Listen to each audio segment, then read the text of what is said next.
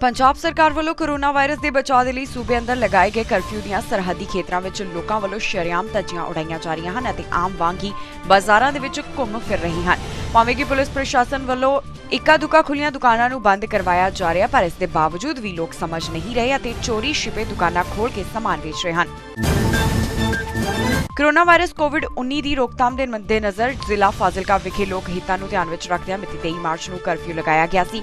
ਜ਼ਿਲ੍ਹਾ ਮੈਜਿਸਟ੍ਰੇਟ ਸਰਦਾਰ ਅਰਵਿੰਦਰਪਾਲ ਸਿੰਘ ਸੰਧੂ ਨੇ ਕਰਫਿਊ ਦੀ ਸਥਿਤੀ ਨੂੰ ਦੇਖਦੇ ਫੈਸਲਾ ਲੈਂਦਿਆਂ ਕਿਹਾ ਕਿ ਲੋਕਾਂ ਦੀਆਂ ਜ਼ਰੂਰੀ ਲੋੜਾਂ ਨੂੰ ਪੂਰਾ ਕਰਨ ਦੇ ਲਈ ਸ਼ਹਿਰ ਵਿੱਚ ਦੁੱਧ ਦੀ ਸਪਲਾਈ ਹਰ ਰੋਜ਼ 24 ਮਾਰਚ ਤੋਂ 31 ਮਾਰਚ ਤੱਕ ਸਵੇਰੇ 7 ਵਜੇ ਤੋਂ 10 ਵਜੇ ਤੱਕ ਕੀਤੀ ਜਾ ਸਕੇਗੀ। ਬੀਤੀ ਰਾਤ ਕਰਫਿਊ ਦਰਮਿਆਨ ਖੰਨਾ ਵਿੱਚ ਜੀਟੀ ਰੋਡ ਤੇ ਵਰਧਮਾਨ ਸਵੀਟਸ ਦੇ ਨੇੜੇ ਸਥਿਤ ਸੋਨੂ ਕਰਿਆਨਾ ਸਟੋਰ ਨੂੰ ਅੱਗ ਲੱਗ ਗਈ। ਇਹ ਅੱਗ ਰਾਤ ਦੇ 12 ਵਜੇ ਤੋਂ ਕੁਝ ਸਮਾਂ ਪਹਿਲਾਂ ਲੱਗੀ। ਦੁਕਾਨ ਦੇ ਵਿੱਚ ਪਿਆ ਸਾਰਾ ਸਮਾਨ ਸੜ ਕੇ ਸੁਆਹ ਹੋ ਗਿਆ।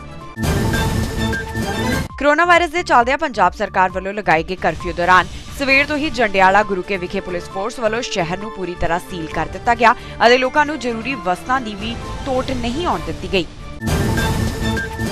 ਕੋਰੋਨਾ ਵਾਇਰਸ ਦੇ ਚੱਲਦਿਆਂ ਪੰਜਾਬ ਸਰਕਾਰ ਵੱਲੋਂ ਲਗਾਏ ਗਏ ਕਰਫਿਊ ਦੇ ਬਾਵਜੂਦ ਸਵੇਰੇ ਅਜਨਾਲਾ ਵਿਖੇ ਵੱਡੀ ਗਿਣਤੀ ਵਿੱਚ ਲੋਕ ਸਬਜ਼ੀ ਮੰਡੀ ਵਿੱਚ ਸਬਜ਼ੀਆਂ ਖਰੀਦਣ ਦੇ ਲਈ ਪੁੱਜੇ।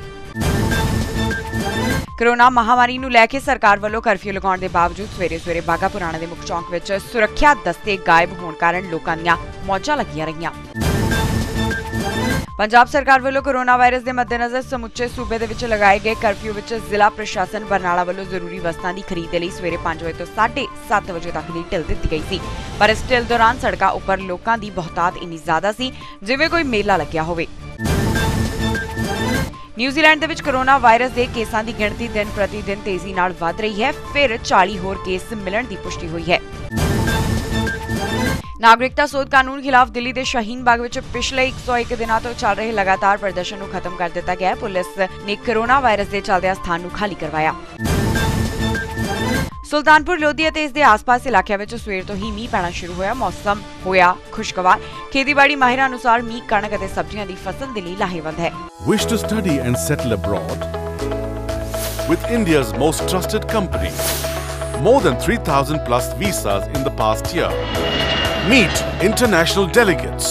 Get scholarship up to rupees 40 lakhs. More than 2,000 plus programs to choose from. Awarded number one consultant by Canadian and American institutes.